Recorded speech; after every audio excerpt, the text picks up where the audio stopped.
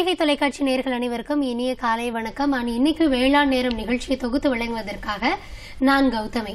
ஒவ்வொரு வாரமே நம்ம வேளாண் நேரம் நிகழ்ச்சியில நம்ம வேளாண்மை மற்றும் அது சார்ந்த தொழில்கள் தொடர்பா பேசிட்டு வரோம். அது மட்டும் இல்லாம கடந்த சில வாரங்களாக நேர்கள் கேட்கக்கூடிய கேள்விகளுக்கு ஏற்ற மாதிரி பல்வேறு தலைப்புகளுக்கு கீழே நம்ம பேசிட்டு வரோம். அந்த வகையில இந்த வாரம் நம்ம எந்த டாபிக் பேச போறோம் அப்படின்னா நிகழ்ச்சிக்கு முன்னாடி ஒரு ப்ரொமோ போச்சு. அதை பார்த்திருந்தாலே உங்களுக்கு தெரிஞ்சிருக்கும். எஸ் இன்னைக்கு நம்ம மாநகரங்களில் வீட்டினுள் தோட்டம் அமைப்பது எப்படி? அது குறித்து தான் பேச போறோம். ஸோ ஒரு வீட்டில் தோட்டம் அமைக்கணும் அப்படின்னா என்னென்ன விஷயங்கள் நம்ம வந்து தேர்ந்தெடுக்கணும்? எப்படி செய்யணும்? அதை எப்படி பராமரிக்கணும்? இது போன்ற பல்வேறு விஷயங்களை தான் இன்னைக்கு நம்ம நிகழ்ச்சியில பேச போறோம். ஆனா அது குறித்து பல்வேறு தகவல்களை நம்ம கூட பகிர்ந்துவதற்காக இன்னைக்கு நம்ம கூட யார் இணைந்திருக்கிறா அப்படின்னு பார்த்தீங்கன்னா கிண்டியில் செயல்படக்கூடிய தகவல் மற்றும் பயிற்சி மையத்தின் பேராசிரியர் மற்றும் தலைவர் முனைவர் சதாசக்தி அவர்கள் இன்னைக்கு நம்ம கூட இணைஞ்சிருக்காங்க. ஸோ அவரை வெல்கம் பண்ணிடலாம். வணக்கம் சார் வணக்கம். எப்படி இருக்கீங்க? நல்லா இருக்கேன். நான் வந்து சதாசக்தி தோட்டக்கலையினுடைய பேராசிரியராக வேளாண்மை பல்கலைக்கழகத்தினுடைய சென்னையில் இருக்கக்கூடிய ஒரு சென்டரில் நான் வந்து தோட்டக்கலை பேராசிரியராக பணிபுரிந்து வருகிறேன். எங்களோட சென்டரோட ஒரு முக்கியத்துவம் பார்த்தீங்கன்னா பயிற்சி மற்றும் தகவல் தொடர்பு இது மாதிரி விஷயங்களை நாங்கள் செய்துக்கிட்டு வர்றோம். ஓகே சார் நம்ம அது தொடர்பாக நிறைய விஷயங்கள் பேசலாம். அது மட்டும் இல்லாம நேர்களும் நமக்கு தொலைபேசி வாயிலா இணைந்து அவங்களுடைய கேள்விகளை பதிவு செய்வாங்க. அதற்கான எண்களை மட்டும் நான் அறிவிச்சிட்டு வந்துடுறேன். நேர்களை இப்போ திரையில காண்பிக்கக்கூடிய எண்களுக்கு தொடர்பு கொண்டு நிகழ்ச்சியில் உங்களுடைய கேள்விகளை பதிவு செய்யலாம். தொடர்பு கொள்ள வேண்டிய எண்கள் ஒன்பது நான்கு நான்கு நான்கு ஒன்பது பூஜ்ஜியம் ஒன்று பூஜ்ஜியம் ஒன்று ஒன்று மற்றும் ஒன்பது நான்கு நான்கு நான்கு ஒன்பது பூஜ்ஜியம் ஒன்று பூஜ்ஜியம் இரண்டு ஒன்று மற்றும் எட்டு ஒன்று இரண்டு நான்கு நான்கு நான்கு ஆறு ஆறு ஒன்று ஒன்று மற்றும் எட்டு ஒன்று இரண்டு நான்கு நான்கு நான்கு ஆறு ஆறு இரண்டு இரண்டு. நீங்கள் வெளியூர் நேர்களாக இருந்தால் தொடர்பு கொள்ள வேண்டிய எண்கள் பூஜ்ஜியம் நான்கு நான்கு இரண்டு ஐந்து மூன்று ஒன்பது ஏழு பூஜ்ஜியம் ஒன்று ஒன்று. நீங்கள் வெளிநாட்டு நேர்களாக இருந்தால் தொடர்பு கொண்டு பேச வேண்டிய எண்கள் பூஜ்ஜியம் பூஜ்ஜியம் ஒன்பது ஒன்று நான்கு நான்கு இரண்டு ஐந்து மூன்று ஒன்பது ஏழு பூஜ்ஜியம் ஒன்று பூஜ்ஜியம் என்ற எண்ணை தொடர்பு கொண்டு நிகழ்ச்சியில் உங்களுடைய கேள்விகளை பதிவு செய்யலாம். சார் நம்ம வந்து ஃபஸ்ட்டே சொல்லிட்டோம் அதாவது வீட்டில் தோட்டம் அமைக்கிறது அது தொடர்பாக தான் பேச போகிறோம் அப்படின்னு. ஸ்பெஷலாக இந்த டாபிக் சூஸ் பண்ணுறோம் அப்படின்னா ஏன்னா நம்ம பொதுவாக விவசாயிகளுக்கு தொடர்பான விஷயங்கள் பேசுகிறப்போ நிறைய பேர் வீட்டில் வந்து நான் இந்த செடி வச்சுருக்கேன் எனக்கு அது சொல்லுங்கள் இது சொல்லுங்கன்னு கேட்பாங்க. ஸோ மக்களை பொறுத்த வரைக்கும் இன்றைக்கி இந்த வீட்டு தோட்டம் அப்படின்றது மேலா மேலான அந்த ஆர்வம் அதிகரிச்சிருக்குன்னு நினைக்கிறீங்களா? அதிகமாக இருக்க தான் செய்யும் அடிப்படையில். ஏன்னா நம்ம எல்லாருமே அடிப்படையில் இந்தியர்கள். இந்திய நாடு வந்து ஒரு வேளாண்மை நாடு. அதனால் இந்தியாவில் இருக்கக்கூடிய ஒவ்வொரு தனி மனிதனுமே வேளாண்மை மேலேயும் ஒவ்வொரு செடி மேலேயும் பற்று இயற்கையாகவே அவனுக்கு அமைந்த ஒரு விஷயம் அது. அது வந்து மாநகரத்தில் இருந்தாலும் சரி சின்ன கிராமங்களில் இருந்தாலும் சரி அந்த ஆசையும் பிரியமும் அன்பும் செடியை நோக்கி போகக்கூடியது வந்து இயற்கையாக அவனோட ஜீன்லேயே அது அமைஞ்சிருக்கு. அதனால் சென்னைக்குள்ளே வந்து பெரிய பெருநகரத்தில் நாம் வாழ்ந்து வந்தால் கூட செடிகள் மேலே அவனுக்கு இருக்கக்கூடிய அந்த பற்று வந்து குறையாம தான் இருக்குது. செயல்படுத்துகிற விதத்தில் வந்து அவங்களுக்கு சில தடங்கல்கள் சில சிக்கல்கள் செயல்பாடு பண்ணும்போது தங்க- தங்களுக்கு சில விஷயங்கள் தெரியாமல் இருக்கிறதுனால அவங்களுக்கு கொஞ்சம் கஷ்டமாக ஃபீல் நினைக்கிறாங்க. எண்ணங்கள் அப்படி இருக்கு. கண்டிப்பா அதற்கான வழிமுறை தான் இன்னைக்கு நம்ம நிகழ்ச்சியில நம்ம சொல்ல போறோம். நீங்க சொல்ற மாதிரி ரொம்ப சரியான விஷயம். கிராமப்புறங்கள்லயோ இல்ல வளர்ந்து வரக்கூடிய நகரங்கள் அந்த மாதிரியான இடங்கள்ல இந்த ஆர்வம் இருக்கிறது பெருசு இல்ல. பெருநகரங்கள்ல சென்னை போன்ற இடங்கள்ல இருக்கிறதுக்கே இருப்பிடம் தேடக்கூடிய ஒரு இடத்துல வீட்லயோ இல்ல வீட்டை சுத்தி ஒரு சின்ன இடம் இருந்தா கூட இந்த மாதிரி தோட்டம் வைக்கணும் அப்படின்னு ஆசைப்படுறாங்க. ஃபர்ஸ்ட் ஆஃப் ஆல் வந்து ஒரு தோட்டம் வைக்கணும் அப்படின்னா இவ்வளோ இடம் இருந்தா தான் வைக்க முடியும் அப்படின்ற மாதிரி எதுவும் இருக்கா? இல்லை தோட்டம் வைக்கிறது அப்படின்னா கிராமத்தில் நம்மளுடைய அணுகுமுறை வேற. மாநகரங்களில் வரும்போது இங்கே வந்து இடம் பற்றாக்குறை அப்படி தான் அடிப்படையில் மிக முக்கியமாக எடுத்துக்கொள்ளப்பட வேண்டிய ஒரு முக்கியமான விஷயம். எனக்கு எத்தனை அடி சதுர அடி எனக்கிட்ட இருக்குது அப்படிங்கிறத தான் முதல் கேள்வியாக வருவாங்க.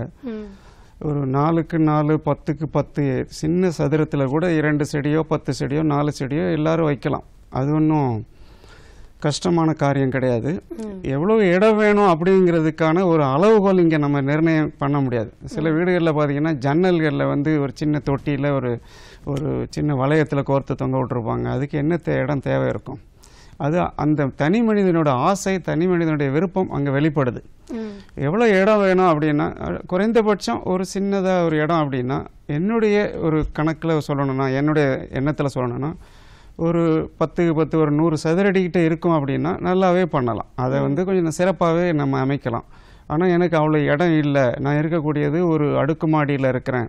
என்னோட பால்கனியில் தான் கொஞ்சம் போல இடம் இருக்குன்னா அங்கேயும் வைக்கலாம். அதற்கு தகுந்த மாதிரி நம்மளுடைய செடிகள் தேர்வு அமையணும். அதுக்கு தகுந்த மாதிரி நம்மளுடைய அந்த ஊடகங்கள் தேர்வு அமைக்கப்படணும். அவ்வளவுதான். அதுல ஒரு பெரிய விஷயமா எனக்கு நம்ம இடம் அப்படிங்கிறது பெரிய விஷயமா நான் கருதலை. அது ஒரு ஃபேக்டராகவே நம்ம நான் என்னுடைய என்ன- நான் கருதலை அதை. ஓகே. இன்னும் நிறைய விஷயங்கள் நான் பேசணும். அதுக்கு முன்னாடி நேயர் ஒருவர் இணைப்புல இருக்காங்க. பேசிட்டு வந்துடலாம் சார்.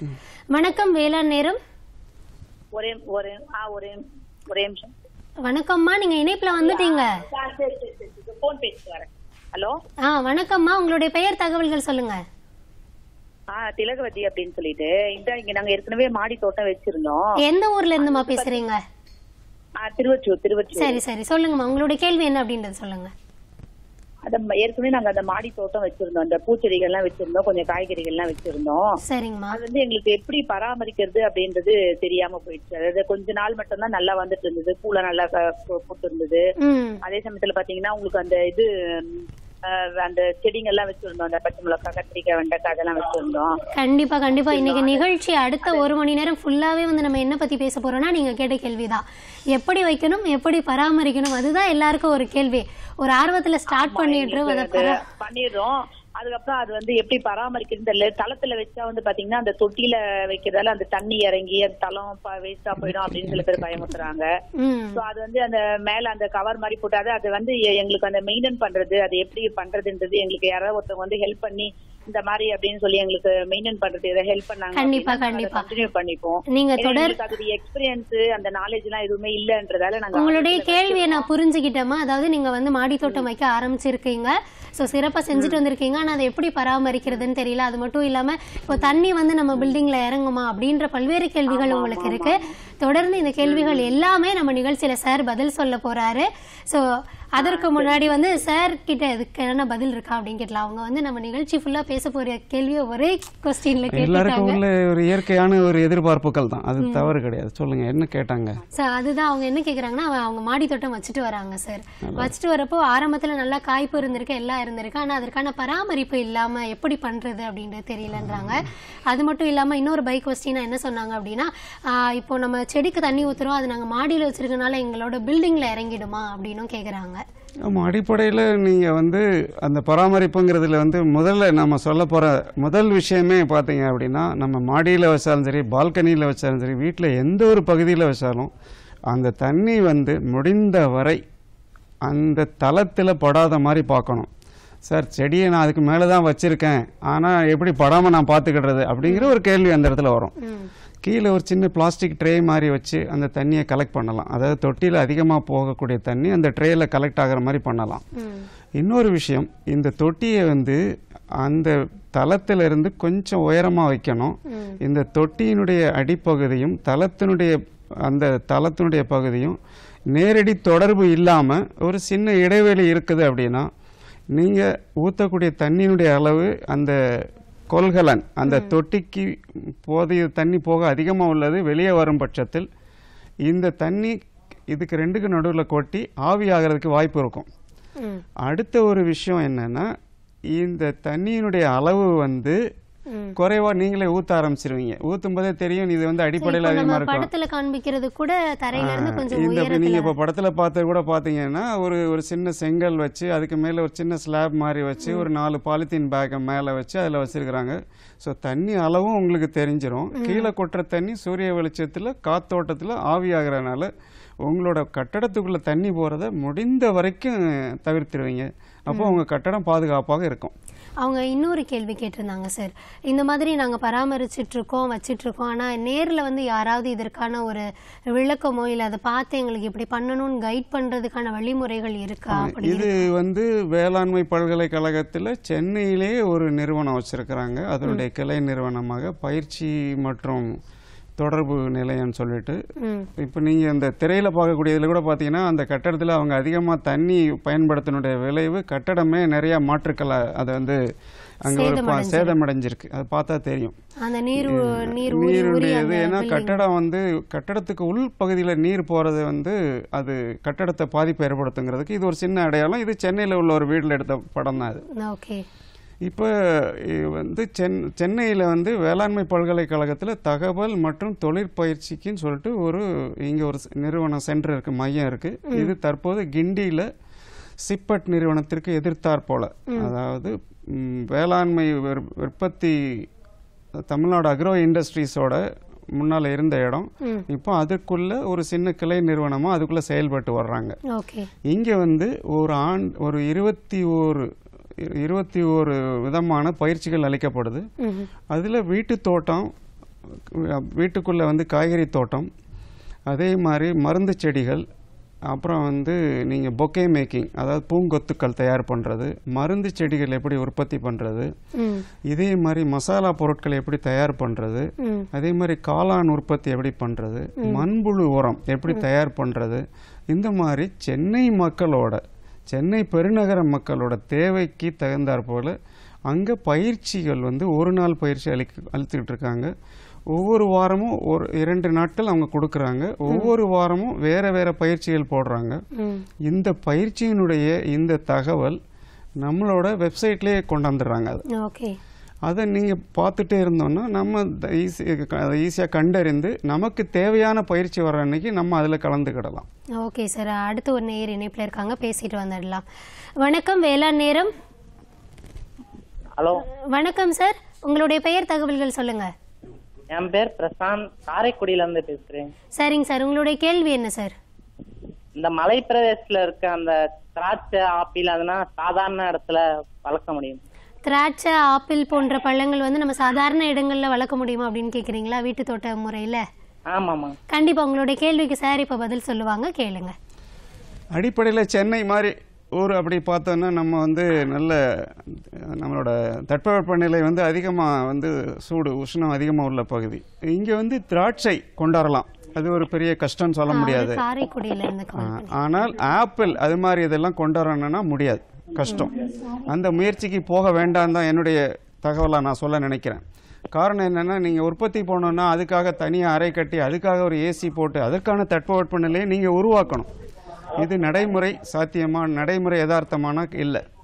சில பேர் சொல்லுவாங்க எங்க இதில் நாங்கள் ஆப்பிள் வச்சுருக்கோன்ட்டு. அது வந்து ஆப்பிள் மாதிரி உள்ள வேறு சில பழங்களோட அந்த ஸ்பீசிஸை வந்து வச்சிருக்கிறாங்க. இது ஆப்பிளுக்கு சமமா இருக்குமான்னா அங்க வாய்ப்பு கம்மி. திராட்சையை பொறுத்த வரைக்கும் வைக்கலாம். இப்ப சென்னை மாதிரி நகரங்கள் இல்ல நீங்க கேட்ட மாதிரி காரைக்குடி மாதிரி நகரங்கள்ல கொண்டு வரலாம். எப்படி கொண்டு வரணும் அப்படின்னா இந்த தட்பவெப்பநிலையை தாங்குகிற மாதிரி அந்த கருப்பு கலர்ல இருக்கக்கூடிய அந்த திராட்சை இருக்குல்ல அது மாதிரி கொண்டாந்தீங்கன்னா நல்லா இருக்கும்.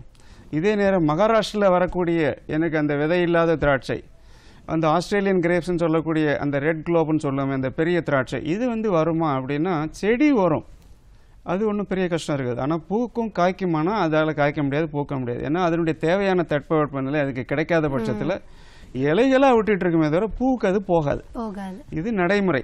அதனால ஆப்பிள் திராட்சை மாதிரி இதெல்லாம் வீட்டுக்குள் தோட்டத்துக்கு சாத்தியமானா ம், வேண்டாம் கஷ்டம்.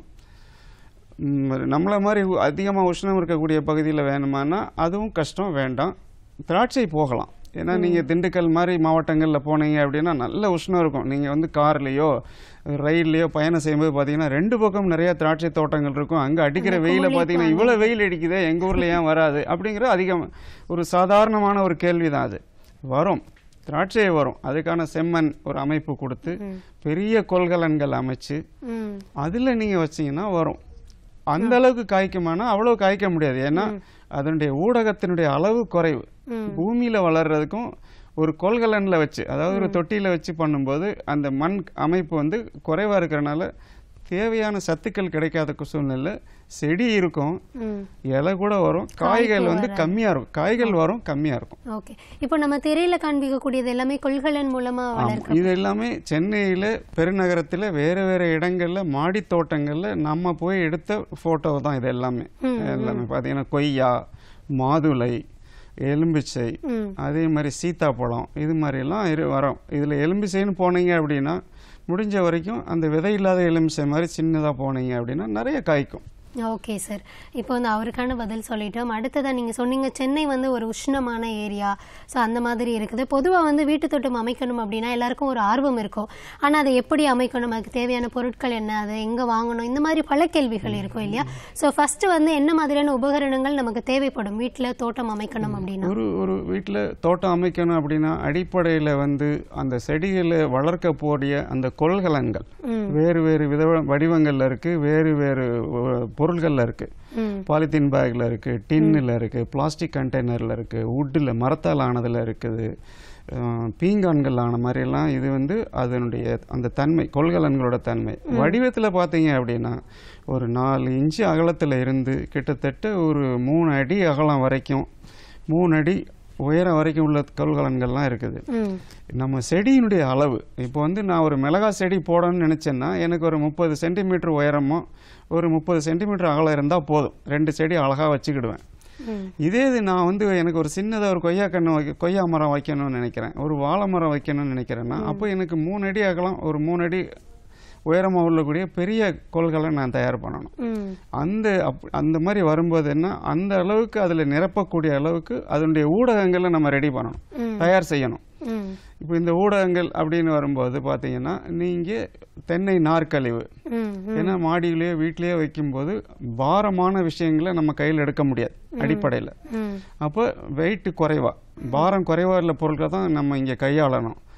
அப்போ வந்து கிட்டத்தட்ட ஒரு பாதிக்கு பாதி நீங்கள் வந்து தென்னை நார்க்கழிவும் மீதி ஒரு பாதி வந்து இயற்கை உரங்கள். குறிப்பாக சொல்லணும் அப்படின்னா தொழு உரம் எங்கேயாவது கிராமங்கள்ல இருந்து நீங்கள் தேர்வு செஞ்சு கொண்டாந்து வச்சுக்கிடலாம். இல்லை இங்கே கோயில்களில் நிறைய மாடு வச்சுருக்காங்க. அங்கே எங்கேயாவது கிடைச்சதுன்னா நீங்கள் எடுத்து வச்சுக்கிடலாம். வீட்டுக்கு பக்கத்தில் யாராவது புறா அது மாதிரி வளர்த்தாங்கன்னா அவங்க எடு- அந்த மாதிரி விஷயங்கள் எடுத்துக்கிடலாம். எனக்கு கடற்கரை ஓரமாக இருக்குது கடல் பாசி கொஞ்சம் எனக்கு கிடைக்கும். அப்படி இயற்கை உரங்களாக உள்ளது ஒரு பகுதி போடலாம். எனக்கு அது கிடைக்கல. என்னுடைய வீட்டுக்கு அருகாமையில் அது மாதிரி எனக்கு ஒரு வாய்ப்பு இல்லை. அப்படின்னா இந்த சூழ்நிலைக்கு நீங்கள் மண்புழு உரம் மாதிரி அது கூட சேர்த்துக்கலாம். மண்புழு உரங்கள் கிட்டத்தட்ட நிறைய கடைகளில் கிடைக்குது. எங்களோட மையத்தில் கூட கிண்டியில் உள்ள அந்த மையத்தில் கூட கிடைக்குது. நம்ம சென்னைக்கு அருகாமையில் உள்ள திருவள்ளூர் மாவட்டத்தில் திருவூர் அப்படிங்கிற ஒரு ஊரில் கூட எங்களோட இன்னொரு ஆராய்ச்சி நிலையம் இருக்குது நெல் ஆராய்ச்சி நிலையம் இருக்குது வேளாண்மை அங்கே அறிவியல் நிலையம் இருக்குது அங்கெல்லாம் இந்த மண்புழு உரம் அவங்க கொடுக்குறாங்க. தனியார் நிறுவனங்கள் நிறைய மண்புழு உரம் வித்துட்டு இருக்கிறாங்க. ஓகே. இதை சம அளவு கலந்துட்டு இது கூட பத்தில் ஒரு மடங்கு அதாவது ஒரு பத்து கிலோ தயார் பண்ணக்கூடிய சூழ்நிலை வந்ததுன்னா ஒரு அரை கிலோலேருந்து ஒரு கிலோ வரைக்கும் வேப்பம் புண்ணாக்கு கலந்து நீங்கள் அந்த கொள்கலன்களில் போட்டு இதற்கு மேலே அந்த செடியை நீங்கள் வைக்கிறனா இப்போ திரையில் பார்க்குறீங்கன்னா பல்வேறு வடிவங்களில் பல்வேறு அளவுகளில் நீங்கள் பார்க்கலாம். சின்ன கண்டெய்னரில் ஒரு செடி ஒரு நாற்றுக்கல் நர்சரியிலேருந்து வாங்கிட்டு வரக்கூடிய நாற்றுக்கல் கொஞ்ச நாளைக்கு வச்சுக்கிடலாம். அகலமாக வட்டமாக முதல்ல இருக்கக்கூடிய பெருசாக இருக்கக்கூடியது உயரம் குறைவாக இருக்கிறது பார்த்தீங்கன்னா இந்த கீரைகள் மாதிரி அப்போ புதினா மாதிரி கொத்தமல்லி மாதிரி விஷயங்களை அதில் வச்சுக்கிடலாம்.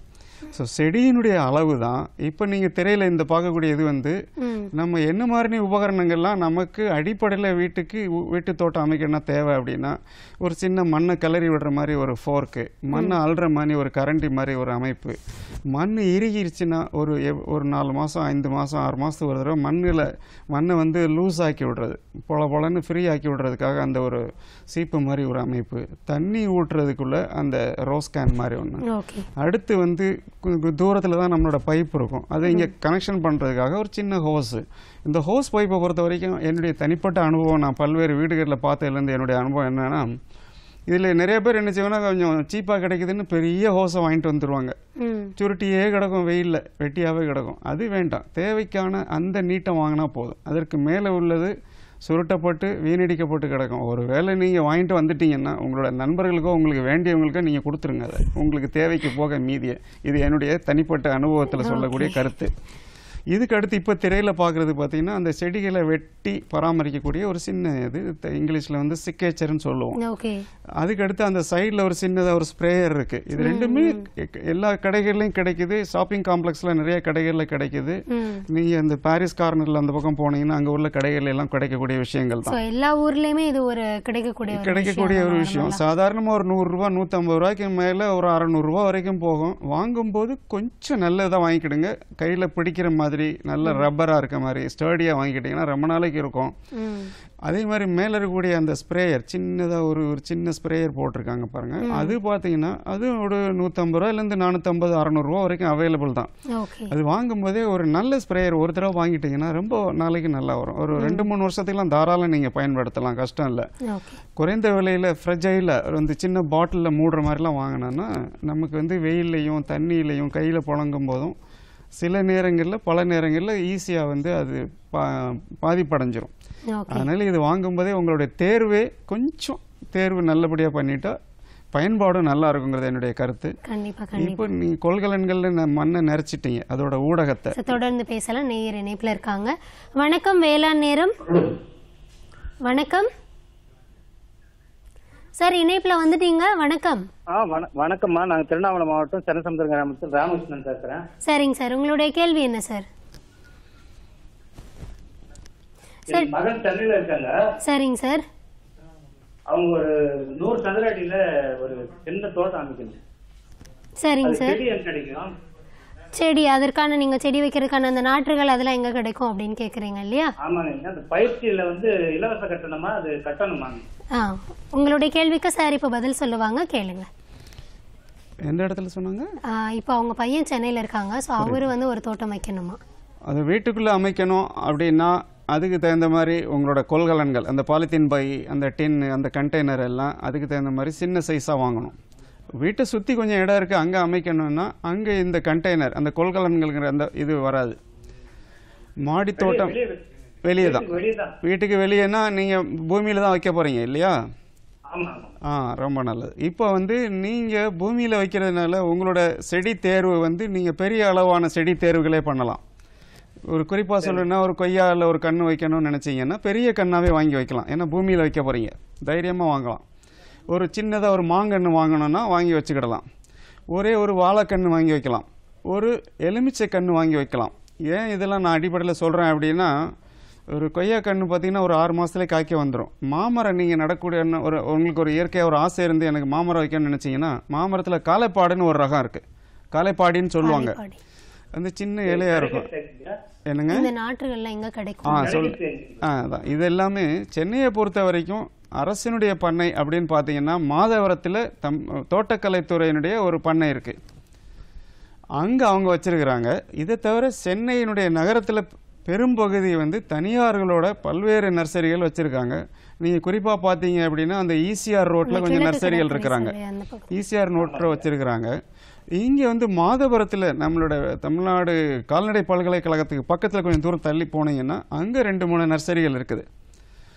இது வந்து சென்னை சிட்டிக்குள்ளே வாங்குறதை விட இந்த மாதவரத்துலேயோ ஈசிஆர்லேயோ வாங்கினீங்கன்னா கொஞ்சம் சீப்பாக கிடைக்கும். கொஞ்சம் கம்மியான விலைக்கு கிடைக்கும். நீங்கள் ஒரு கன்று ரெண்டு கன்று வாங்குறதுக்காக நூறு கிலோமீட்டர் ஐம்பது கிலோமீட்டர்லாம் போய் வாங்கிட்டு வர்றது ஒரு எக்கானமியாக இருக்காது. எக்கனாமிக்காக இருக்காது. அதனால் நீங்கள் என்ன செய்யணும்னா இந்த மாதிரி நர்சரிகளில் போகும்போது கொஞ்சம் கவனம் செலுத்தி தேவைக்கான கண்ணுகளை பார்த்து கொஞ்சம் இருக்கிறதுல பெரிய கண்ணாக பார்த்து எடுக்கும்போது எப்பயுமே ஞாபகம் வச்சுக்கோங்க. அந்த தொட்டி வந்து உடையாமலும் தொட்டியில் இருக்கக்கூடிய வேர்கள் வந்து டேமேஜ் ஆகாமலும் பாதிப்படையாமல் இருக்கணும். முடிஞ்ச வரைக்கும் வேர்கள் நிறைய இருக்கக்கூடிய கன்று தான் நீங்கள் வந்து வைக்கும்போது அதனுடைய உற்பத்தி அதாவது சர்வைவல் சாகாமல் உயிர் பிடிச்சி சீக்கிரம் வந்துடும் இது மாதிரி பழக்கண்ணுகள் பழக்கன்றுகள் போகலாம். காய்கறிகள் அப்படின்னு போனேன்னு நினச்சிங்கன்னா கோவக்காயில் வந்து பார்த்தீங்கன்னா வேளாண்மை பல்கலைக்கழகத்தில் ஒரு ரகம் விட்டுருக்காங்க. அது பெரணியல். பெரணியல்னால் நிரந்தரமாக கோவக்காய் விதை போட்டு அது பழுத்துட்டு முடிஞ்சிற காரியம் இல்லை. அது வருஷ வருஷம் காய்க்கும். அது மாதிரி ஒரு கொடி வச்சுக்கிட்டிங்கன்னா கோடையில் கூட ஒரு காய் கிடச்சிக்கிட்டே இருக்கும் உங்களுக்கு. ஏன்னா கோவக்காய் பார்த்தீங்கன்னா இயற்கையாகவே இந்த தட்பவெப்பநிலையில் சூடான பூமிகளில் கூட காய்ச்சிக்கிட்டே இருக்கும் அதால்.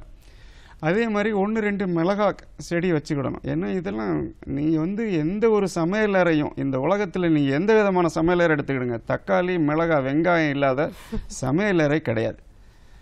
அப்போ வரும்போது ஒன்று ரெண்டு தக்காளி செடி கண்டிப்பாக வைக்கணும். ஒன்று ரெண்டு மிளகா செடி கண்டிப்பாக நீங்கள் வைக்கணும்.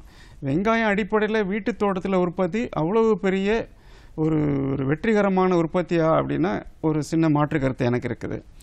இது தவிர ஒரு கருவேப்பிலை கன்று கண்டிப்பாக வைக்கணும். ஏன்னா நீங்கள் ரசத்தை அங்கே கூட்டி வச்சுட்டு அப்படி நடந்து வெளியே போய் ஒரு இலையை கிள்ளிட்டு வந்து போட்டிங்கன்னா ரசம் ரெடி ஆயிரும். அதே மாதிரி ஒரு எலுமிச்சை கன்று வைக்கணும். திடீர்னு உங்கள் வீட்டுக்கு ஒரு விருந்துக்காரங்க வந்துட்டாங்க அப்படின்னா நீங்கள் திரையில் பார்த்தீங்கன்னா நிறைய அந்த பயிர்களோட இது படங்கள் காட்டிக்கிட்டு இருக்கிறாங்க. ஒரு எலுமிச்சை கன்று வைக்கணும். திடீர்னு உங்கள் வீட்டுக்கு ஒரு விருந்தாளி வந்துடுறாங்க. நீங்கள் ரெஃப்ரிஜிரேட்டர் போய் திறக்கிறீங்க. பால் இல்லை. டக்குன்னு வெளியே போய் ஒரு எலுமிச்சம்பழத்தை எடுத்து வந்து அப்படி கட் பண்ணி ஒரு ஜூஸ் போட்டு லைட்டாக ஒரு சால்ட்டை தொட்டுட்டு அப்படி ஒரு சுகர் போட்டு ஒரு கிளாஸ் டம்ளர் கொடுத்தீங்கன்னா நீங்கள் டீ காஃபி கொடுத்ததை விட அவங்க பயங்கர சந்தோஷமாக நல்ல ரி- ஒரு ரிச்சாக ஒரு விஷயம் கொடுத்தேன்னு சந்தோஷப்பட்டுக்கிடுவாங்க. அதை தாண்டி இயற்கையாகவே நீங்கள் வைட்டமின் சி அதிகமாக கலந்த ஒரு விஷயத்தை இயற்கையை அப்படியே பறித்து வந்து அப்படியே கொடுக்கும்போது அவங்களுக்கு ஹெல்த்து அதாவது அவங்களோட ஹெல்த் ரொம்ப நல்லாயிருக்கும் மனசு சந்தோஷப்படும். உங்களுக்கும் வந்து டக்குன்னு மேனேஜ் பண்ணணும். அந்த சுச்சுவேஷன் மேனேஜ்மெண்ட் சொல்கிறேன்ல அதை நல்லா பண்ணிட்டேங்கிற ஒரு சந்தோஷமான சூழ்நிலை வரும். இது மாதிரி காய்கறிகள். இது ஒன்று ரெண்டு இதெல்லாம் போகலாம். குறிப்பாக பார்த்தீங்கன்னா மின்ட்டு புதினா இருக்குது பார்த்தீங்களா வீட்டுக்கு சமையலுக்கு வாங்கிட்டு வர புதினால இலையை கிள்ளிட்டு அதில் நீங்கள் ஒன்று அந்த குச்சி மாதிரி இருக்கிறத அப்படியே பக்கத்தில் நட்டு வைங்க வந்துடும் வீட்டில் தனியா அதாவது நம்ம இதில் சொல்லுவோம் இல்லைங்க? மல்லி கொத்தமல்லி. வீட்டுக்கு பயன்படுத்தக்கூடிய அந்த கொத்தமல்லி விதை மாதிரி இருக்கக்கூடிய அந்த தானியங்களை கொஞ்சம் போல் இப்படி சைடில் விதைச்சி விட்டிங்கன்னா வளர்ந்துட்டே இருக்கும். தேவைக்கு அதை கிள்ளி பயன்படுத்தலாம். கொத்தமல்லியை பொறுத்த வரைக்கும் சில நேரங்களில் நிறையா தடவை நான் போடுறேன் முளைக்க மாட்டேங்குது அப்படின்னு சொல்லுவாங்க. கொத்தமல்லி அதனுடைய முளைப்பு திறனை வி சீக்கிரமே இழந்துரும். அதனால நம்ம வாங்கிட்டு வந்த அந்த கடையில் வாங்கிட்டு வந்த அந்த பர்டிகுலர் லாட் அந்த பட் ஒரு சின்ன விஷயம் அது முளைக்காமல் போக வாய்ப்பு இருக்குது அப்போ என்னதுன்னா இன்னொரு கடையில் வேற ஒரு ஒரு லாட்டில் கொஞ்சம் போல் வாங்கிட்டு வந்து போட்டு ஏதாவது ஒரு லாட்டு முளைச்சிருச்சுன்னா அந்த லாட்டை வேஸ்ட் பண்ணாமல் இதுக்கு யூஸ் பண்ணிக்கோங்க. நீங்கள் இதுக்கு முன்னால் வாங்கிட்டு வந்த லாட்டெல்லாம் தாராளமாக நீங்கள் அம்மியில் அரைச்சி உங்கள் ரசம் சாம்பார் எது வேணாலும் நீங்கள் வச்சுக்கலாம். இதில் வேஸ்ட் ஆக வாய்ப்பு இல்லை. நீங்கள் மல்லி தலையை பறிக்கும் போது உங்கள் ரசத்துக்கோ சாம்பாருக்கோ எந்த தலை வேணுமோ அதை மாத்திரம் கிள்ளுனா போதும். செடியில் கொஞ்சம் போல் இலை கிழிஞ்சிருக்கு மஞ்சளாக இருக்குது அதை எடுத்து விடுறேன்லாம் வேண்டாம். அது செடி பார்த்துக்கிடும் இது வந்து எடுத்துகிட்டு வந்து ஃப்ரிட்ஜ்லேயும் வைக்கக்கூடாது. நீங்கள் மாடி தோட்டமாக வீட்டுக்குள்ளே தோட்டம் போட்டு இந்த மாதிரி விஷயத்தை பயன்படுத்தும் போது ரெஃப்ரிஜிரேட்டருக்காக இது நம்ம செய்யலை. ஃப்ரெஷ் அப்படியே பறித்து அப்படியே சாப்பிடுவேங்கிற மாதிரி இந்த ஒரு விஷயத்தை தான் தான் நம்ம செய்கிறோம் அதனால இந்த மாதிரி மல்லி புதினா இது மாதிரி பண்ணலாம். ஒரு சின்ன சின்ன மருந்து செடிகள் குறிப்பாக சொல்லணும்னா ஓமவல்லி ஒரு சின்ன சளி தொந்தரவு அப்படியே வாயில் போட்டு சுவஞ்சிக்கிட்டு இருக்கலாம். ஒரு ஒன்று ரெண்டு துளசி ஒன்று ரெண்டு நம்ம அந்த சிவன் துளசி இருக்குல்ல அது என்ன செய்வோம் திருநீற்று பச்சலை. அப்புறம் ஒன்று ரெண்டு பிரண்டை வைக்கலாம். வயிற்று உபாதைகளுக்கு சும்மா ஒரு ஒரு பிரண்டையை ஒரு கிள்ளிட்டு வந்து ஒரு துவையல் மாதிரி பண்ணி மதியானம் ஒரு தயிர் சோத்துக்கு சாப்பிட்டீங்கன்னா வயிற்று உபாதைகள் எல்லாம் எடுத்துரும். அந்த மாதிரி பொன்னாங்கண்ணி கரிசலாங்கண்ணி அந்த மாதிரி சின்ன சின்ன விஷயங்களை சேர்த்துக்கிட்டிங்கன்னா இதற்கு வந்து ஒரு செடிக்கு இன்னொரு செடிக்கு எவ்வளோ இடைவெளி? அதெல்லாம் இங்கே இடைவெளிலாம் வேண்டாம். நெருக்கமாக நட்டுருங்க ஒன்றும் தப்பு இல்லை. இப்போ ஒரு செடி இன்னொரு செடியும் போட்டி போடும். தன்னுடைய உணவுக்காக. குறிப்பாக பார்த்தீங்கன்னா உணவுங்கும் போது செடிக்கு ரெண்டு விஷயம். ஒன்று வந்து சூரிய ஒளியிலிருந்து அதுவாக தயாரிக்கிற உணவு. இன்னொரு உணவு பார்த்தீங்க அப்படின்னா பூமியிலேருந்து அது உறிஞ்சி எடுக்கக்கூடிய உணவு. இங்கே அதுக்கு சூரிய ஒளி நமக்கு சென்னை மாதிரி நகரத்தில் பிரச்சனை இல்லை நிறையா கிடைக்குது. தொடர்ந்து பேசலாம் சார் அந்த பராமரிப்பு குறித்து நேயர் இணைப்பில் இருக்காங்க. வணக்கம் வேளாண் நேரம். ஹலோ? வணக்கம் சார் உங்களுடைய பெயர் சொல்லுங்க. சார் எங்க இருந்து பேசுறீங்க சொல்லுங்க சார்.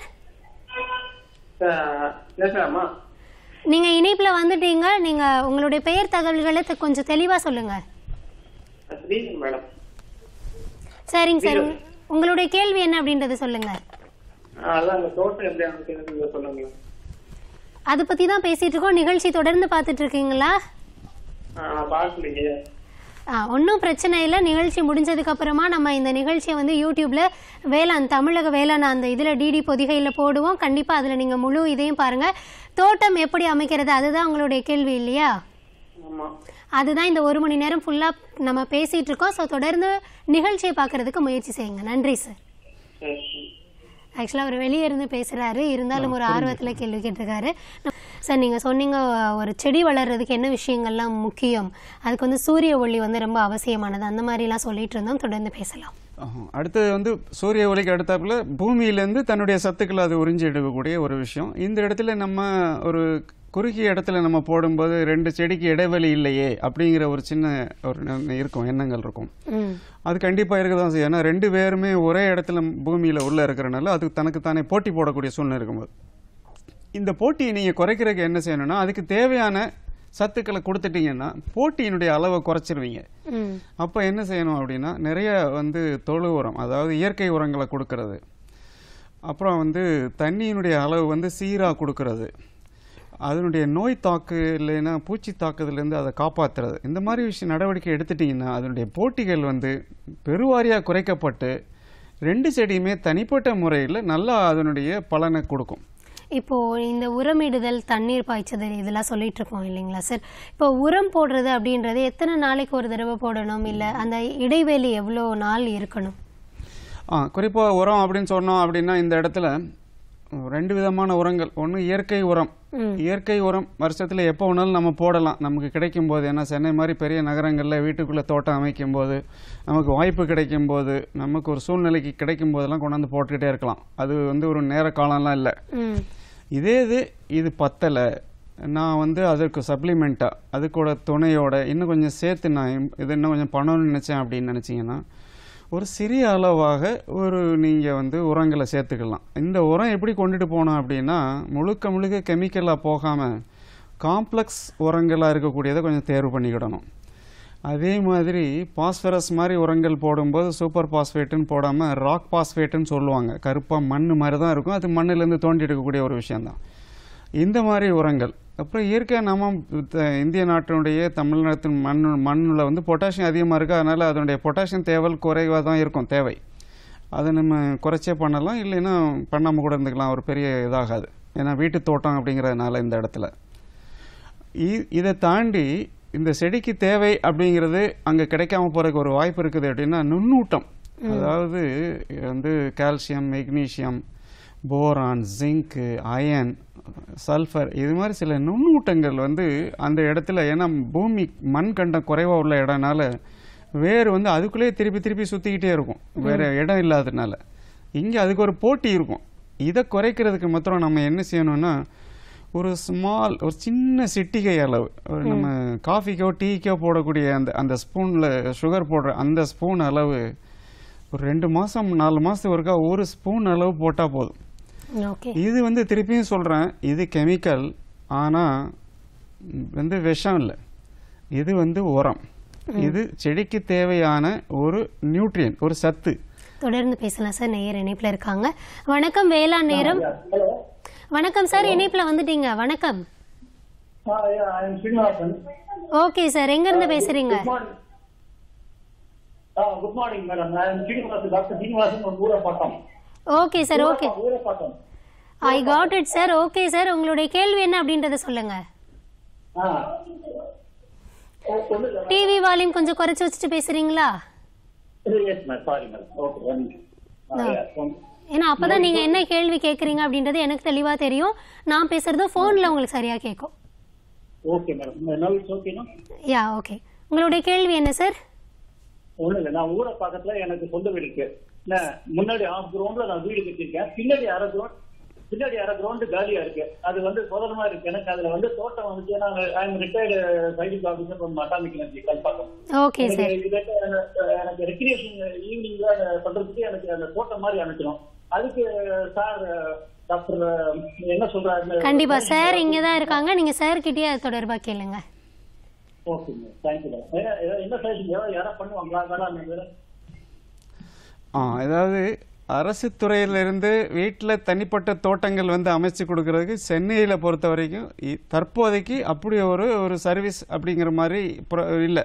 இப்போதைக்கு இல்லை. தற்போதைக்கு இல்லை. ஆனால் தனியார்கள் இது மாதிரி நிறையா பண்ணி கொடுத்துட்டு இருக்கிறாங்க அதனுடைய தொடர்பு எண்கள்லாம் நான் கொடுத்துருக்குறேன். இப்போ கொஞ்ச நேரத்தில் உங்களுக்கு அதை ஸ்க்ரோல் பண்ண சொல்கிறாங்க பண்ணுறேன் அடுத்தது நீங்கள் ஊரப்பாக்கத்தில் தனியாக ஒரு வீடு முன்பகுதியில் வீடு கட்டிட்டு பின்பகுதியில் நீங்கள் தோட்டம் வச்சுருக்கிறீங்க புதர் மாதிரி மாற்றணும்னு சொல்கிறீங்க இருக்கு? அதை இப்போ சென்னையை பொறுத்த வரைக்கும் நீங்கள் ரிட்டையர்ட் அப்படிங்கிறனால நீங்கள் வந்து தினமும் ஒரு மணி நேரமோ இல்லைன்னா சனிக்கிழமை அன்னைக்கு ஒரு மூணு மணி நேரமோ நீங்கள் அந்த தோட்டத்தில் செலவு பண்ணணும் அடிப்படையில். என்ன செய்யணும்னா என்ன செய்யணும்னா கொஞ்சம் கொஞ்சமாக ஒவ்வொரு ஒவ்வொரு பகுதி பகுதியாக பிரிச்சுக்கிட்டு கிளியர் பண்ணிக்கிட்டு இருக்கக்கூடிய புதர்களை க்ளீன் பண்ணி தூக்கி தூர எழிஞ்சிட்டு இதுக்கு அப்புறம் அந்த மண்ணில் வந்து கொஞ்சம் போல் நீங்கள் வந்து உரத்தை ஏற்றணும் ஏற்றணும்னா எப்படி பண்ணணும் அப்படின்னா தொழு உரம் பக்கத்தில் எங்கேயாவது கிடைக்கும். ஊரப்பாக்கனால நீங்கள் கொஞ்சம் தூரம் தள்ளி போனீங்கன்னா உங்களுக்கு கிடைக்கும். வாய்ப்பு இருக்குது எங்கேயாவது ஆடு வச்சுருக்கவங்க மாடு வச்சுருக்கவங்க கிட்ட இருந்து கொஞ்சம் இயற்கை உரங்களை கொண்டாந்து அந்த இடத்துல மண்ணில் கலந்துருங்க. மிக்ஸ் பண்ணிடுங்க நல்லா கலந்துட்டு இப்போ உங்களுக்கு கிட்டத்தட்ட ஒரு அரை கிரவுண்ட் இருக்குங்கிற மாதிரி சொல்கிறீங்க உங்களோட இதில். இப்போ அந்த காம்பவுண்ட் வால் ஓரமாக என்ன செய்யணும்னா உயரமாக வளரக்கூடிய மரங்களை நடணும்.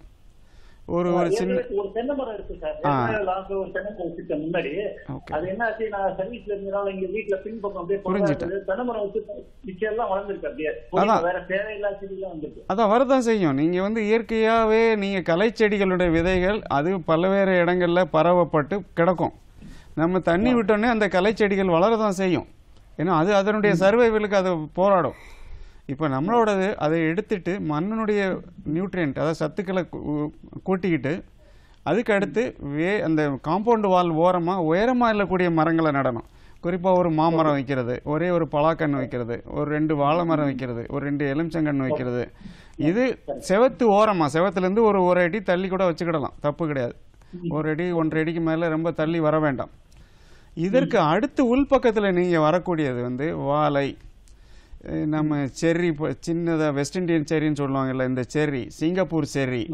இது மாதிரி ஒரு கொஞ்சம் உயரம் குறைமா உள்ளதை வச்சுக்கிடலாம். அதுக்கு உள்பகுதியில் வரும்போது நீங்கள் நீங்கள் வந்து ரோஜா நந்தியாவட்டை அந்த மல்லிகை இது மாதிரி கொஞ்சம் உயரமாக வந்து எடுத்துக்கிட்டு இதுக்காக எதுக்காக சொல்கிறேன்னா நீங்கள் அமைக்கும் போதே வந்து கீழே நீங்கள் கண்ணுக்கு முன்னால் உயரம் குறைவாக உள்ள செடியும் கண்ணுக்கு உயர் தாண்டி போக போக உயரம் அதிகமாக உள்ள செடியும் காம்பவுண்ட் வால் ஓரமாக உயரமாக உள்ள மரங்களும் வச்சுக்கிட்டிங்கன்னா நீங்கள் ஒரு இடத்துலேருந்து பார்த்தாலே எல்லா செடியும் உங்கள் கண்ணில் படும். அப்போ தூரத்தில் இருக்கக்கூடிய ஒரு விஷயம் பளிச்சுன்னு கண்ணில் படும்போது தவறு நடந்தால் அதை உடனடியாக போய் அதை சரி செய்யறதுக்கு முயற்சி பண்ணிடுவீங்க. இதுக்காக இதுதான் நீங்க திட்டமிடல். இந்த திட்டமிடல் அப்படின்னு வரும்போது அங்க வந்து இடம் கொள்கலன் அந்த ஊடகங்கள் தேர்வு செய்ய வேண்டிய விதைகள் இந்த விஷயத்த நம்ம தெரிஞ்சுக்கிடணும். இப்போ பக்கத்தில் அருகாமையில் எங்கெல்லாம் வந்து நாற்றாங்கால்கள் இருக்கு? எங்கெல்லாம் இந்த அக்ரோ அதாவது விவசாய பொருட்கள் வேளாண்மை பொருட்கள் விற்- விற்ப- விற்பனை பண்றாங்க? முதல் தடவை போனோன்னே வாங்கணும்னு நினைக்கக்கூடாது சும்மா போயிட்டு என்னெல்லாம் இருக்குன்னு பார்த்துட்டு வந்துடணும்.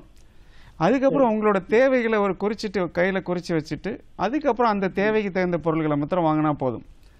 இது போக உங்களுடைய ஆலோசனைக்கு பார்த்தீங்கன்னா நீங்கள் ஊரப்பாக்கம் அப்படிங்கிறதுனால அது காஞ்சிபுரம் மாவட்டத்தில் வரனால உங்களோட அந்த பிளாக்ல ஒரு தோட்டக்கலை அலுவலர் இருப்பார் ஒரு அக்ரிகல்ச்சர் ஆஃபீஸர் ஒருத்தங்க இருப்பாங்க. அவங்களெல்லாம் நீங்கள் அணுகலாம் அந்த பிளாக் ஆஃபீஸில் இருப்பாங்க. இதை தாண்டி அந்த அந்த ஒவ்வொரு பிளாக் உங்க பிளாக் ஆஃபீஸ் எங்க இருக்குன்னு பாருங்க. ஊரை பார்க்க எந்த பிளாக்ல வருதுன்னு பாருங்க. அந்த பிளாக்ல உள்ள பிளாக் ஆஃபீஸ்ல இருப்பாங்க. ஒருவேளை அதுல உங்களுக்கு சின்ன தடங்கள் இடைஞ்சல் அதுல ஒரு சின்ன ஒரு இன்கன்வீனியன்ஸா நீங்க நினைச்சீங்க அப்படின்னா கிண்டிக்கு வாங்க எங்களோட ஆஃபீஸுக்கு வாங்க. என்னோட மொபைல் நம்பர் அங்க ஓடுது. அங்க வாங்க. நீங்க சனி ஞாயிறு இல்லாமல் மற்ற நாளில் ஒர்க்கிங் டேல எப்போ வேணாலும் ஒர்க்கிங் ஹவர்ஸில் வாங்க. என்னுடைய மொபைலில் தொடர்பு கொண்டுட்டு வாங்க.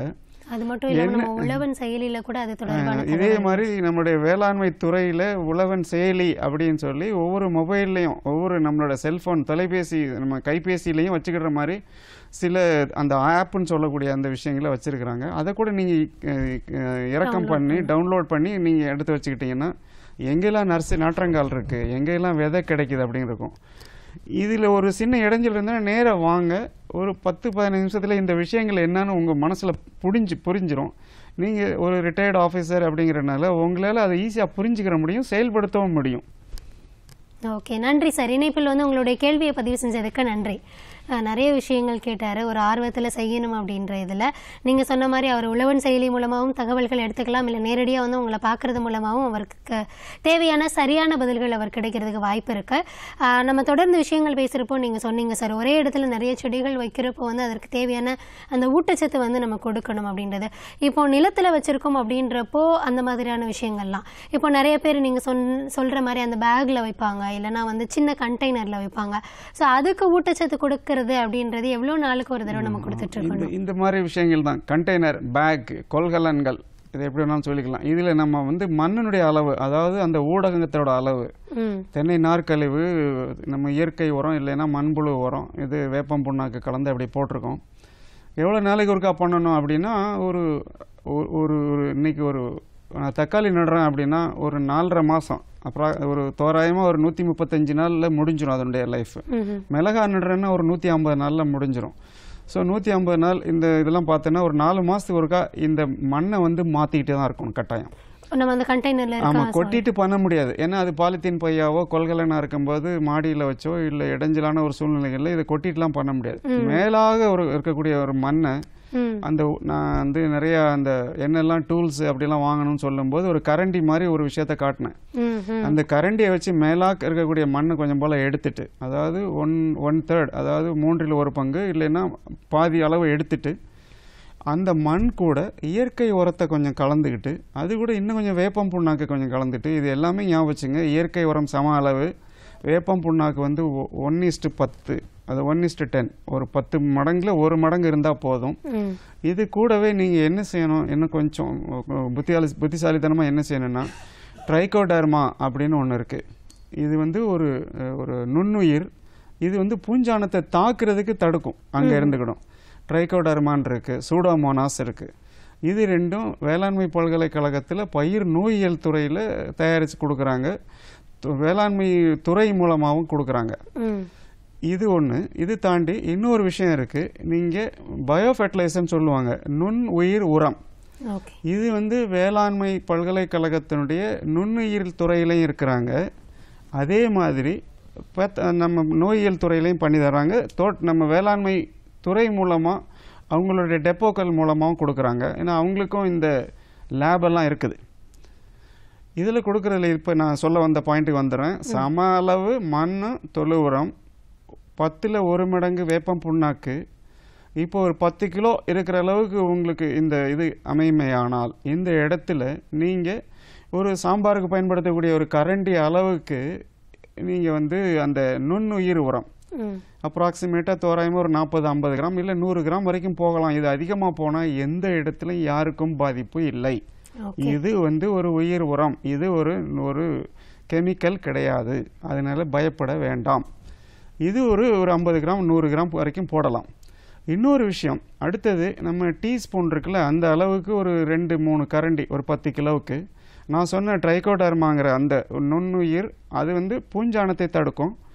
அதே மாதிரி சூடாமோனாஸ் அதுவும் ஒரு பூஞ்சானத்தை தடுக்கும். இது வந்து ஒரு மூணு நாலு கரண்டி தோராயமாக ஒரு பதினஞ்சுலேருந்து இருபது கிராம் போட்டுக்கிட்டிங்கன்னா போட்டு இந்த மண்ணில் கலந்து மீண்டும் அந்த பையில் நிரப்பிட்டு அடுத்து புதுசாக ஒரு செடியை வச்சீங்க அப்படின்னா வைக்க போகிற செடி வந்து ஒரு ஒரு புதுசாக ஒரு உயிர்ப்பிக்கப்படும் ஏன்னா அதில் வந்து உரத்தை ஏற்றிருக்கீங்க கூட்டியிருக்கிறீங்க.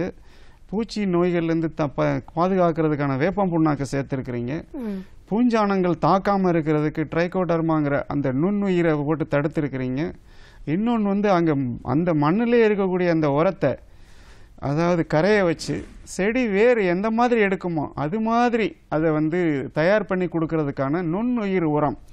அந்த அசோஸ்பெரிலம் பாஸ்போபாக்டீரியா இது மாதிரி நுண்ணுயிர் உரக்கலவையை போட்டுட்டீங்க அப்படின்னா நீங்கள் மீண்டும் மீண்டும் இதை செயல்படுத்துறதுக்கு நல்லா இருக்கும். ஒரு மூணுலேருந்து அஞ்சு மாதம் வரைக்கும் இது பண்ணிக்கலாம். அந்த பயிர் முடிகிற காலங்களில் இதை பண்ணணும். தொடர்ந்து பேசலாம் சார். நேயர் இணைப்பில் இருக்காங்க. வணக்கம் வேளாண் நேரம். Eight zero. வணக்கம் சார். இணைப்பில் வந்துட்டீங்க. உங்களுடைய பெயர் தகவல்கள் சொல்லுங்க. சார் தஞ்சை மாவட்டம் பட்டுப்பறை கோயிலேருந்து ஐயம்பட்டையில். சரிங்க சார். உங்களுடைய டிவி வால்யூம் குறைச்சிட்டு பேசுறீங்களா? இன்னைக்கு நன்றி மேடம் இதோ ஒரு நிமிஷம். நான் பேசுகிறேன் மேடம் குறைச்சிடுங்க சார் இப்போ உங்களுடைய கேள்வி சொல்லுங்க. தஞ்சை மாவட்டம் ஐயம்பட்டையிலேருந்து பேசுகிறேன் மேடம் சரிங்க சார் நீங்க இன்னும் டிவி வால்யூம் குறைக்கல. சரி உங்களோட கேள்வி என்னன்றது சொல்லுங்க. தஞ்சை இது தோட்டத்தில் சின்ன தோட்டம் வச்சுருக்கேன் மேடம் பூச்செல்லாம் அரிச்சிருது மேடம் காய்கறி இது இதெல்லாம் போட்டிருக்கேன். ஆ சரிங்க சார். என்ன மாதிரியான காய்கறிகள் போட்டிருக்கீங்க? சும்மா பூச்செடி இந்த வெண்டைக்காய் கத்திரிக்காய் அதெல்லாம் சரி சரி. பூச்சி தாக்குதல் இருக்கு? அதுக்கு என்ன பண்ணிக்கலாம் அப்படின்னு கேட்குறீங்க ஆ மேடம். ஓகே. உங்களுக்கான கேள்விக்கு பதில் சார் இப்போ சொல்லுவாங்க கேளு. இது வீட்டுக்கு உங்களோட வீட்டுக்கு அருகாமையில் போட்டிருக்கீங்களா? இல்லை தோட்டத்தில் அமைச்சிருக்கீங்களா? சார் வீட்டுக்கு பக்கத்துலேயே போட்டிருக்கீங்களா? இல்லை கொஞ்சம் கொல்லை கொல்லையில தான் மேடம். கொல்லையில் ஒரு அஞ்சு சென்ட் பத்து சென்ட்டில் வச்சுருப்பீங்களா? சும்மா சின்னதா ஒரு பத்து அப்போ வீட்டுக்கு அருகாமையில் வீட்டுக்கு அருகாமையில் உள்ள வீட்டு தோட்டமாக வச்சிருக்கிறீங்க? ஒரு குறுகிய பத்து பத்து வெண்டைக்காய் ஒரு பத்து ஒரு ரெண்டு வெள்ளரிக்காய் ஒரு பத்து மிளகாய் செடி அது மாதிரி வச்சிருக்கிறீங்க இல்லையா? வீட்டுக்கு பயன்பாட்டுக்கு தகுந்த மாதிரி. இப்போ நீங்கள் வந்து கட்டாயம் வந்து நீங்கள் வந்து ஒரு கெமிக்கல் எதுவும் போக வேண்டாம். ஏன்னா வீட்டுக்கு உடனடியாக பயன்படுத்துறதுனால போக வேண்டியதில்லை. நீங்கள் வந்து சொல்லக்கூடிய இடம் வந்து கிராமத்துக்கு பக்கத்தில் உள்ள இடங்கனால இயற்கை உரங்களை அதிகமாக போடுங்க. சரியா? அடுத்தது வந்து நீங்க பூச்சி தாக்குதல் இருக்கு. அடுத்தது வெண்டைக்காய் மாதிரின்னு சொல்றீங்க. எல்லாமே காய்கறி பயிர்கள். காய்கறிகள் பொறுத்த வரைக்கும் நம்ம உடனடியாக சமையல் பண்ணி சாப்பிட்றதுனால நீங்க வேப்பம் புண்ணாக்கு வேப்பங்கொட்டை சாறு வேப்ப எண்ணெய் கலந்த இந்த மருந்துகளை தான் நீங்க பயன்படுத்தணும். இப்போ வந்து ஒரு வேப்பம் புண்ணாக்கு போடுறீங்க அப்படின்னா ஒரு செடி நீங்க எல்லாம் தரையில வச்சிருக்கறனால ஒரு செடிக்கு ஒரு அரை கிலோ அப்படி வர்ற மாதிரி போடுங்க. அதாவது பெரிய செடியா இருந்தா இதே ஒரு வரப்பு வாய்க்கால் மாதிரி வச்சு ஒரு பார் மாதிரி கட்டி அதில் வெண்டைக்காயோ கத்திரிக்காயோ நட்டிருந்தீங்கன்னா ஒரு அரை கிலோலேருந்து ஒரு கிலோ வந்து நல்லா பூமியில் கலந்து விட்டுட்டு தண்ணி கட்டி விட்டுருங்க. அதாவது வேப்பம் புண்ணாக்க. அடுத்தது வேப்பம் கொட்டை கிடைக்கும்னா அதை இடித்து சாறு எடுக்கணும். கொஞ்சம் போல் தண்ணி விட்டு உரல்ல இடித்து சாறு எடுத்து அந்த சாறு நல்லா வடிகட்டி ஒரு மடங்கு சாறு எடுத்து ஒரு பத்து லிட்டர் தண்ணியில் ஒரு ஒரு லிட்டருக்கு பத்து லிட்டர் வர மாதிரி கலந்துட்டு அதை இந்த செடிக்கு மேலே தெளிச்சிங்கன்னா பூச்சி வந்து விரட்டப்படும். இல்லை இதெல்லாம் எனக்கு வேப்பங்கொட்டை கிடைக்காதுன்னா வேப்ப எண்ணெய் கொஞ்சம் போல் வாங்கி ஒரு மூணு மில்லி ஒரு லிட்டருக்கு கலந்துக்கிட்டு இப்போ எண்ணெய் வந்து தண்ணியில் ஈஸியாக கலக்காது. அப்போ என்ன செய்யணும்னா காதி சோப்புன்னு சொல்லுவோம்ல முன்னால எல்லாம் துணிக்கு துவைக்கிறதுக்கு யூஸ் பண்ணக்கூடிய காதி சோப்பு. நம்ம டிடர்ஜென்ட் சோப்பு மாதிரி போடக்கூடாது. Khadi soap. Suppose khadi soap எனக்கு பக்கத்தில் எங்கேயும் கிடைக்கலன்னு நினைச்சீங்கன்னா நம்ம கை கழுவுறதுக்கு அவங்க ஏரியால அவைலபிளா ஒருவேளை உங்களுக்காக இது மற்ற நேயர்களுக்கு இந்த தகவல் சொல்லிடுறேன். சில வேளை எனக்கு கிடைக்கல நான் நகரத்துக்குள்ள இருக்கேன் காதி சோப்பை தேடிலாம் போக முடியாதுங்க அப்படிங்கிற ஒரு சூழ்நிலை வந்ததுன்னா அப்போ நீங்க என்ன செய்யணும்னா ஒரு கை கழுவுறதுக்காக வச்சிருப்போம். ஹேண்ட் வாஷ்னு வச்சக்கூடிய அந்த சின்ன சோப்பு தண்ணி மேத்து வச்சிருப்பாங்க. இதுல வந்து அந்த அந்த கெமிக்கலோட அளவு குறைவா இருக்கும். அந்த காரம். அதை கொஞ்சம் போல கலந்துக்கிட்டாங்கன்னா இந்த தன் எண்ணெய் வந்து தண்ணியில எளிதா கலந்துரும். ஒரு பத்து சொட்டு ஒரு- ஒரு அஞ்சு லிட்டர் தண்ணியில் ஒரு பத்து சொட்டு விட்டு அந்த ஒரு ஒரு லிட்டருக்கு மூணு எம்எல் தண்ணி கணக்கு இது எண்ணெய் கணக்கு வச்சு போட்டாங்கன்னா இதை நான் சொன்ன அந்த சின்ன ஸ்ப்ரேயரில் அந்த செடிக்கு அடிச்சுக்கிட்டே இருந்தாங்கன்னா நல்லா யோசிச்சுங்க நம்ம பயன்படுத்துறது வேப்பம் புண்ணாக்கு வேப்பங்கொட்டை சாறு தான். இது மனிதர்களுக்கு சாப்பிடக்கூடிய ச- நம்ம மருந்துக்காக குழந்தைகளுக்கு பூச்சியாக இது பண்ணுவோம் நம்ம சாப்பிட்டா ஒன்றும் ஆகாது. பூச்சிகளை என்ன செய்யணும்? ரெண்டு விதமாக அணுகும். ஒன்று வந்து பூச்சியை விரட்டும். இன்னொன்று வந்து பூச்சி சாறு உறிஞ்சிற பூச்சியாக இருந்து அதை சாப்பிட்டுருச்சு அப்படின்னா அதனுடைய வருங்கால சந்ததிகளை அதால் உற்பத்தி பண்ணுறதுல பிரச்சனை ஏற்படுத்து அதனுடைய எண்ணிக்கை வந்து குறையும். ஒரு நூறு பூச்சியாக இருக்கிறது ஒரு ஆறு மாசத்துல ஐம்பது பூச்சி இருபது பூச்சி ஆயிரும். இது கட்டுப்படுத்தப்படும். பூச்சியை வந்து முழுசாக கொன்னுட்டு தான் நான் இருக்கணும்னு நினைக்கக்கூடாது.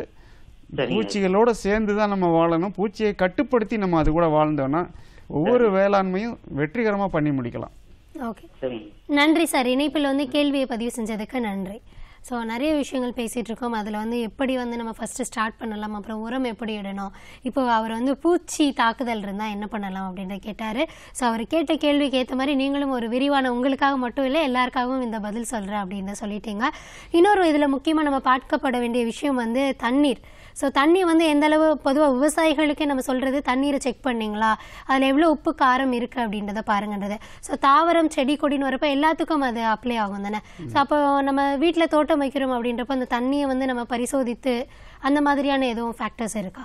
இருக்கு. நீரின்றி அமையாத உலகு. இது இயற்கையாக உள்ள ஒரு மிகப்பெரிய ஒரு விஷயம். நமக்கு சொல்லப்பட்ட விஷயம். நம்மளுடைய முன்னோர்கள் நமக்கு சொல்லிட்டு போன ஒரு விஷயம். இப்போ நீருடைய அளவையும் கம்மியாக தான் பயன்படுத்தணும் செடிக்கு.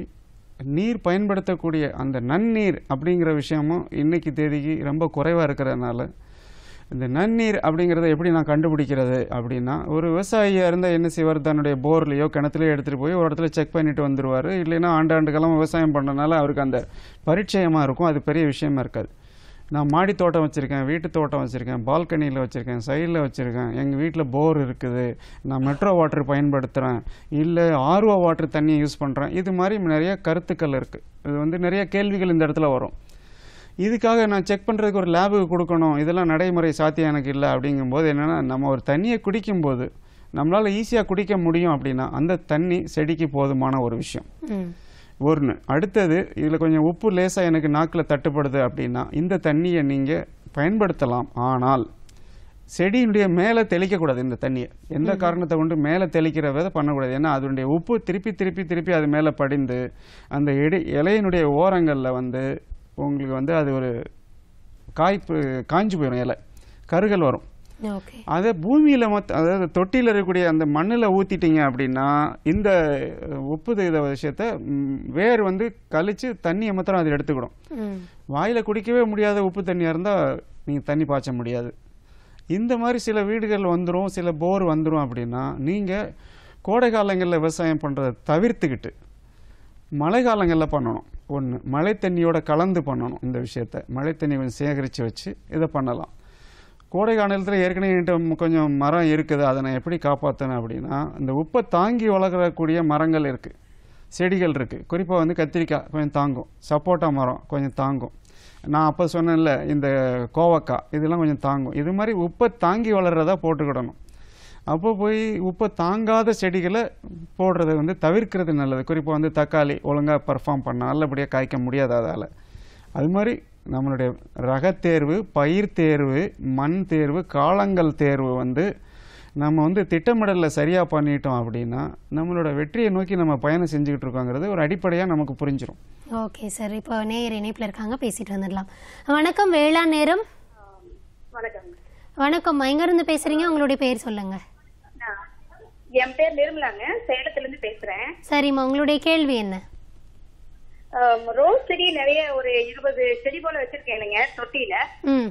அது வந்து கட் பண்ணி விட்டோம்னா அந்த பிரான்ச் காஞ்சிக்கிட்டே வந்து கடைசி வரைக்கும் வந்து செடி ஃபுல்லா காஞ்சிருதுங்க. சரிம்மா. அது ஒண்ணு. இன்னொன்னு வந்து லீஃப் பூரா ஓரமெல்லாம் சருகா காஞ்சிக்கிட்டே வந்து அப்படியே செடியெல்லாம் பூச்சி விழுந்த மாதிரி காஞ்சி போயிருதுங்க. இது என்ன குறை? கண்டிப்பா உரம் போறீங்களா இல்ல நோய் தக்கலாம்னு தெரியலங்க. கண்டிப்பா. செடி ஃபுல்லா காஞ்சிடுதுங்க.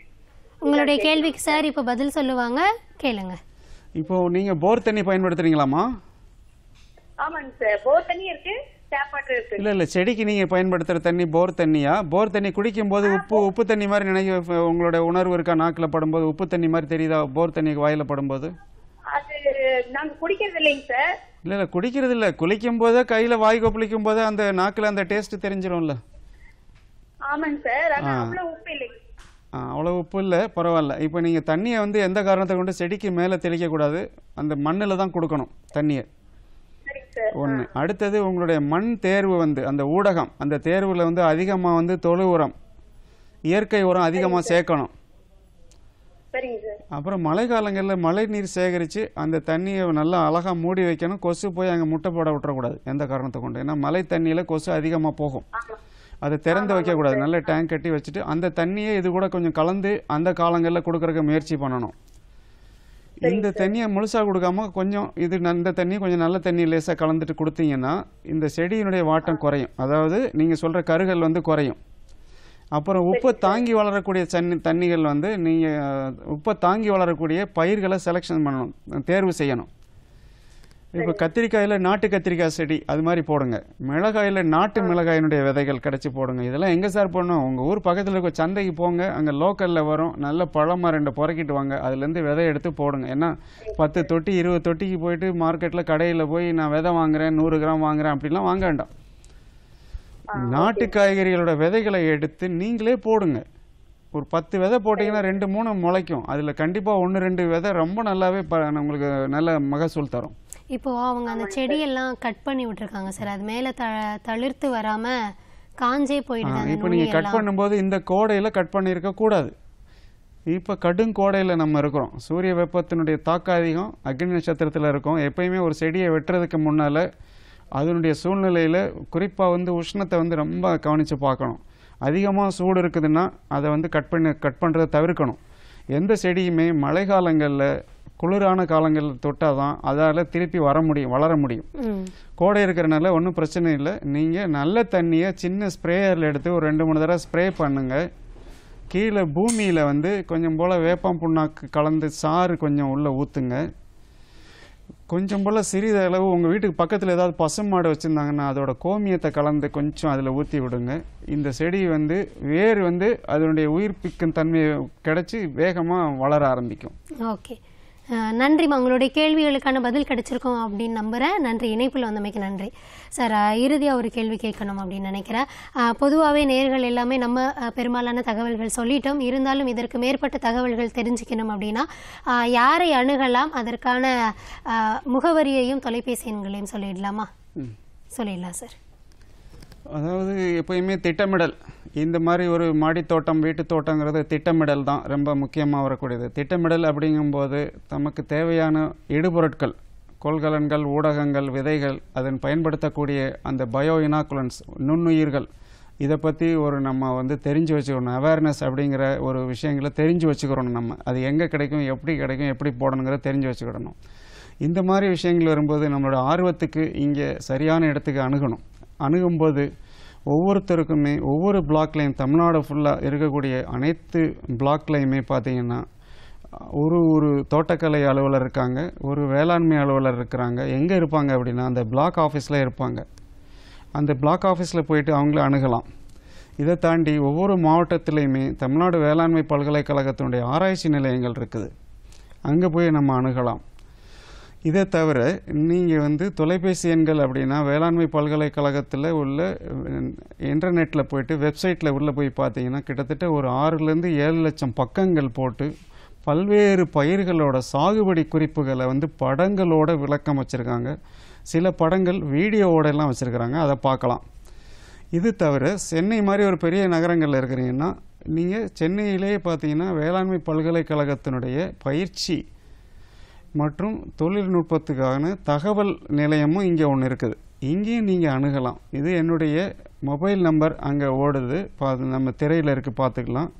எங்களோட அலுவலகத்தோட லைன் லேண்ட்லைன் சொல்லக்கூடிய அந்த நம்பரும் அதில் இருக்குது. அது இதில் தொடர்பு கொண்டீங்கன்னா நானும் என்னுடைய சக அலுவலர்களோ உங்களுக்கு எங்கே கிடைக்கும் என்னங்கிறத சொல்லுவாங்க. ஸோ அந்த எண்களை நானும் கூட ஒரு தடவை அறிவிச்சிடலாம் அப்படின்னு நினைக்கிறேன். நீங்கள் தொடர்பு கொள்ள வேண்டிய எண்கள் பூஜ்ஜியம் நான்கு நான்கு இரண்டு இரண்டு இரண்டு ஐந்து பூஜ்ஜியம் ஐந்து ஒன்று ஒன்று மற்றும் கைபேசி எண் பார்த்தீங்க அப்படின்னா ஒன்பது நான்கு எட்டு எட்டு நான்கு ஏழு ஏழு ஒன்று ஆறு ஆறு. மற்றும் அந்த முகவரி பார்த்தீங்க அப்படின்னா தமிழ்நாடு வேளாண்மை பல்கலைக்கழகம் தகவல் மற்றும் பயிற்சி மையம் முதல் தளம் சிப்பட் எதிரில் கிண்டி சென்னை ஆறு லட்சத்தி முப்பத்தி இரண்டு. இந்த எண்ணிற்கு தொடர்பு கொண்டாலும் சாரை வந்து நீங்கள் தொடர்பு கொண்டு உங்களுடைய சந்தேகங்களை தீர்த்துக்க முடியும். ஸோ இன்றைக்கு நிகழ்ச்சியில் கடந்த ஒரு மணி நேரமாக நிறைய விஷயங்கள் பேசினோம் பயனுள்ள விஷயங்கள் பேசியிருக்கோம். அது மட்டும் இல்லாமல் நேர்கள் கேட்ட கேள்விக்கு ரொம்பவே விளக்கமாக பதில் சொன்னீங்க. நேர்களே இன்றைக்கி இந்த நிகழ்ச்சி உங்களுக்கும் ரொம்பவே பயனுள்ளதாக அமைஞ்சிருக்கும் அப்படின்னு நான் நினைக்கிறேன். ஸோ நிகழ்ச்சியில் வந்து உங்களுடைய தகவல்களை பயந்துக்கிட்டதுக்கு நன்றி சார். நன்றி வணக்கம்.